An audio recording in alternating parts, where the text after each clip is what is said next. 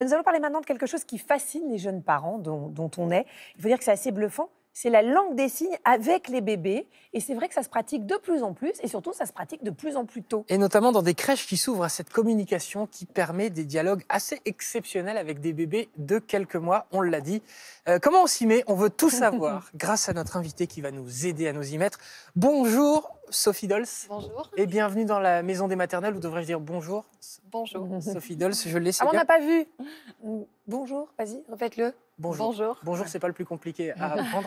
Euh, vous êtes la fondatrice de la compagnie Maya qui propose des ateliers pour signer avec bébé et vous êtes auteur de ce livre euh, Signer avec son bébé aux éditions First. Déjà, est-ce que la langue des signes avec les bébés est elle-même la, la même que la langue des signes des malentendants? Alors, on utilise effectivement les mêmes signes que la langue des signes française utilisée par les sourds. Ouais. Euh, alors, par contre, la différence entre la langue des signes française utilisée par les sourds, c'est que c'est une vraie langue, une langue vivante, voilà, tout comme l'anglais ou l'espagnol.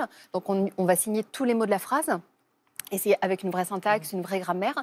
Alors qu'avec les bébés, on va parler normalement avec un langage oral à notre enfant et on va signer un mot dans la phrase, le mot qui va nous sembler important pour l'enfant. Typiquement, il est l'heure d'aller au lit, on va faire qu'un signe pour dire Dodo, quoi. Pour dire Voilà, dodo et le- l'enfant va comprendre. À partir de quel âge on peut s'y mettre avec un bébé? Et c'est là que c'est bluffant. Pour moi, dès la naissance, on peut Ouais. vraiment commencer euh, avec un tout petit petit, vraiment avec un nouveau-né. J'ai même des femmes enceintes en atelier qui viennent faire des ateliers pour avoir tout l'outil euh, Ouais. avant l'arrivée de leur bébé. Euh, donc on peut vraiment commencer tout de suite. Après, l'enfant, lui, ne va faire les premiers signes que vers ses 8-10 mois. En général, quand la motricité fine est suffisamment développée pour que ses petites mains puissent faire les premiers signes.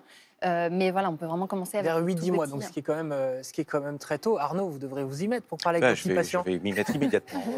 Posons tout de suite la question qui fâche, parce qu'il y en a une et une seule. Euh, on dit que les bébés qui, qui dialoguent avec la langue des signes vont avoir un retard sur le langage. Enfin, on dit, certains disent. Est-ce que vous le C'est l'idée reçue la plus, la plus répandue, ça c'est sûr. Euh, alors non, au contraire. Au contraire, ce qu'on va parler normalement justement à notre enfant, on va être encore plus présent, encore plus euh, dans, dans la bienveillance et Ouais. dans l'attention qu'on donne à notre enfant.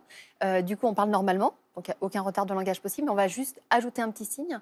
Donc c'est vraiment un petit plus qu'on va Oui. apporter à notre enfant. Et au contraire, il va être vraiment encore plus dans la communication, dans l'interaction. Euh, et un enfant qui va signer tôt, en général, est un enfant qui va parler plus tôt, Ah oui, qui aura encore plus le plaisir des mots. je vous le confirme avec mon fils qui est bavard. L'origine des signes avec les bébés est très intéressante. C'était dans les années 80.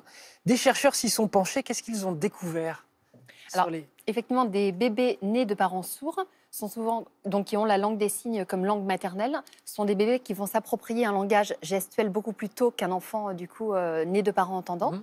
Donc avec un enfant entendant né de parents entendants, euh, il va falloir attendre à peu près 18 mois, vous me dites, hein, si, je- Oui, oui, si je- vous me confirmez. pour avoir les premiers Euh, dialogues pour ouais. avoir en tout cas que le larynx soit suffisamment formé pour permettre l'articulation précise des mots. Mhm. Donc il faudra attendre un an et demi, deux ans selon les enfants euh, pour vraiment les premiers mots. Alors qu'avec leurs petites mains, dès ces 8-10 mois, on peut déjà avoir vraiment des petits gestes intentionnels euh, Mhm. précis pour des besoins, C'est des comme ça émotions. que ces, ces chercheurs se sont rendus compte que dès 8-10 mois, on pouvait euh, parler. Alors, comment on s'y met? On commence par quoi? Quels sont les, les fondamentaux Alors moi j'aime bien dire aux parents quand ils sortent d'un atelier, ils ont euh, une trentaine de signes. Je leur dis non, on ralentit, 30, c'est beaucoup. C'est déjà Ouais, beaucoup. ouais. Donc prenez deux, trois signes, mais vraiment d'action du quotidien, vraiment euh, d'action que vous faites chaque jour. Donc comme ça, vous aurez le petit, le petit réflexe euh, de faire l'action et de dire le mot en même temps.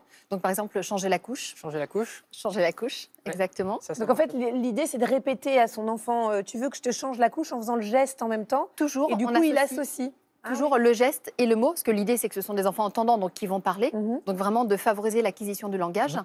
Euh, donc toujours le mot et le geste. Et à chaque fois qu'on fait l'action, pour nous, déjà parents, prendre l'habitude euh, de, faire, euh, de faire ce petit signe. Donc je vais te changer la couche, Euh, le bain, le bain. Après, quelque chose lié au repas, donc manger, euh, téter, biberon, selon l'âge de l'enfant, euh, selon l'âge auquel on commence. Et manger, c'est. Manger, c'est. Manger en France, c'est ça. Ouais. Alors, par exemple, la langue des signes est vraiment. euh, là, c'est la langue des signes française, et chaque pays a sa langue des signes.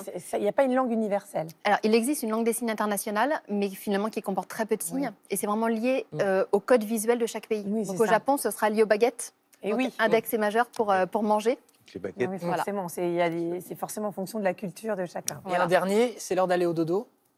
On peut faire dormir comme ça. Ouais. Comme, euh, comme on fera en mime, il y a Ah bah plein de signes euh, qui oui, partent de la Général, naturelle oui.